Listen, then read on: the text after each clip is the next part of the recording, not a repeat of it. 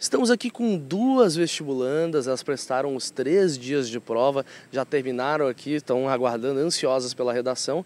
É a Paola, que fez prova para enfermagem, e a Miriam, que fez prova para agronomia. Como vocês bem sabem, todo dia de vestibular da UFSM tem um tema, né? Se escolhe uma temática.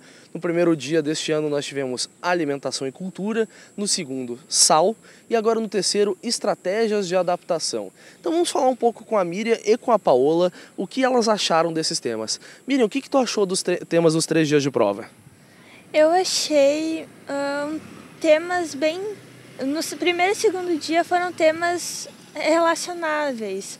No terceiro dia, hoje, foi um tema completamente diferente dos outros dois. Achou que destoou um pouco no caso? Sim, destoou. E hoje, no meu caso, por exemplo, que eu não tinha acompanhado muito, eu achei meio perdido no início para mim descobrir qual era o tema.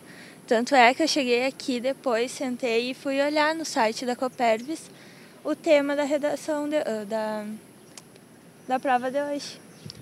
E tu, Paula, o que, que tu achou dos três temas?